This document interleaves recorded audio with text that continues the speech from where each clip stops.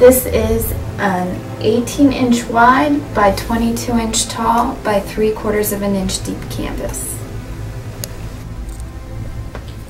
On this piece, David has created a border